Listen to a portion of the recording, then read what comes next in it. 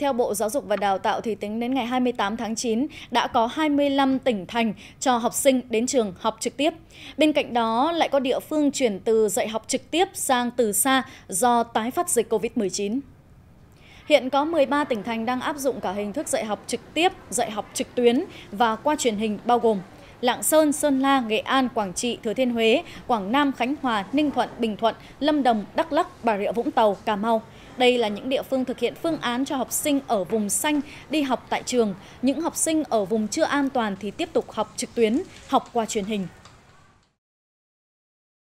Cùng với các kế hoạch thích ứng an toàn với dịch bệnh, việc lên phương án để học sinh sinh viên trở lại trường học đang được nhiều địa phương khẩn trương tiến hành. Giải pháp đầu tiên là mở rộng chương trình tiêm vaccine cho các đối tượng đủ 18 tuổi đang theo học hoặc là mới trúng tuyển vào các trường cao đẳng đại học trong cả nước. Sau đây là ghi nhận tại tỉnh Bình Định.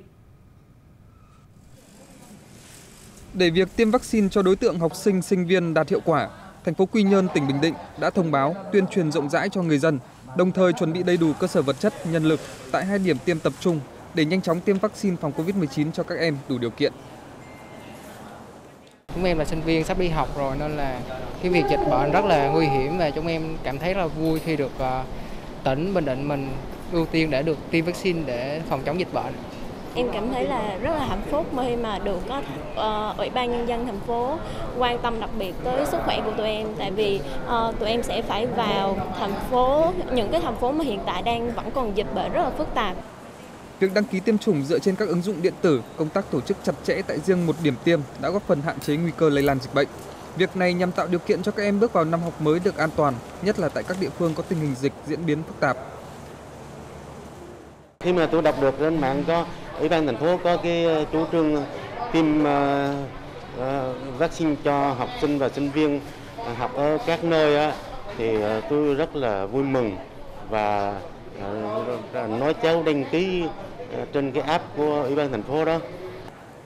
Trước đó, thành phố Quy Nhơn, tỉnh Bình Định cũng tiến hành tiêm vaccine phòng COVID-19 cho các sinh viên các trường cao đẳng, đại học tham gia hỗ trợ phòng chống dịch COVID-19.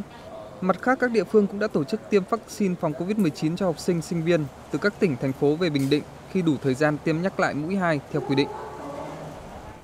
Sau gần một tuần kể từ khi phát đi thông cáo về kế hoạch cho phép cán bộ, giáo viên, nhân viên, học sinh, học viên và người hỗ trợ, thì sáng ngày 29 tháng 9, hàng nghìn giáo viên và học sinh từ 59 tỉnh thành phố khác đã quay trở lại thành phố Đà Nẵng để học tập và làm việc. Tại bốn chốt cửa ngõ ra vào thành phố Đà Nẵng, các lực lượng liên ngành kiểm soát các trường hợp theo danh sách do Sở Giáo dục và Đào tạo thành phố Đà Nẵng cung cấp.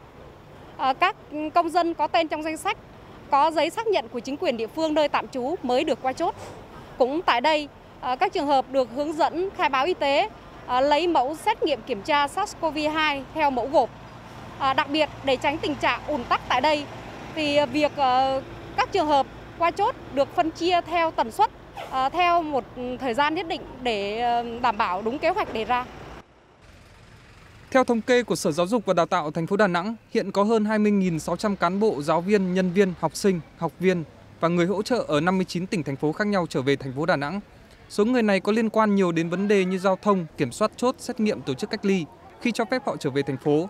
Do vậy, họ sẽ được đón nhận thành nhiều đợt hoặc có thể tự túc phương tiện đường bộ để trở về. Thời gian từ ngày 29 tháng 9 đến hết ngày 6 tháng 10. Giờ Đà Nẵng cho về lại để học, xong rồi uh, em thấy vui. Sáng nay thì uh, đi ra đây thì làm thủ tục ừ, xét nghiệm với lại uh, các thủ tục khác thì em thấy khá nhanh các cô hỗ trợ rất tốt. Làm xét nghiệm xong thì mình hướng dẫn mọi người chờ trong vòng 20 phút.